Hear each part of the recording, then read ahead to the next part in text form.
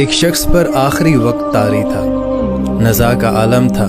लोग कलमा पढ़ाते थे, लेकिन ज़ुबान से कलमा जारी नहीं होता था। तो लोग हमारे प्यारे नबी हज़रत मोहम्मद सल्लल्लाहु अलैहि वसल्लम के पास पहुँचे और फरमाया कि, या रसूल अल्लाह बंदा मुसलमान है, लेकिन ज़ुबान से कलमा जारी नहीं हो रहा। तो नबी पाक ने फ़ौरन इरशाद फरमाया, क्या इसकी माँ ज़िंदा है?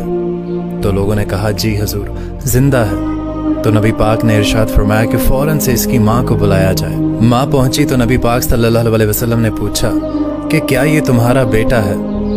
तो जब माँ ने नबी पाक सल्लल्लाहु अलैहि वसल्लम का चेहरा मुबारक देखा तो रो पड़ी और माँ ने कहा कि हाँ ये मेरा ही बेटा है। तो नबी पाक ने इरशाद फरमाया कि क्या तुम इस बेटे से नाराज़ हो? तो माँ कहने लगी कि हाँ हजूर, बड़ी नाराज़ हूँ। इसने बड़े जुल्म और बड़ी ज्यादतियाँ की हैं मेरे साथ। तो नबी पाक ने इरशाद फरमाया कि चलो, इस बेटे को अपने को माफ़ कर दो।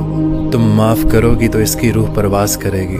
तुम माफ़ करोगी तो इसकी ज़ुबान पर कलमा तैयबा जारी होगा।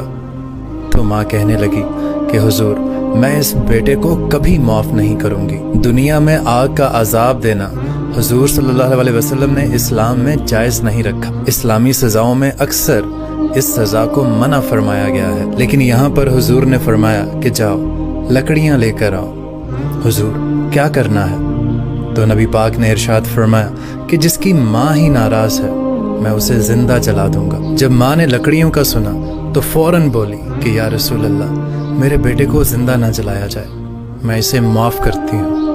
वो तीन दफ़ा बोली कि, मैं इसे माफ़ करती हूँ। तो नबी करीम सल्लल्लाहु अलैहि वसल्लम ने इरशाद फरमाया कि, अब इसे कलमा पढ़ाओ। और उसकी ज़ुबान पर उसके बाद कलमा जारी हुआ और फ़ौरन उसकी रूह परवास कर गई।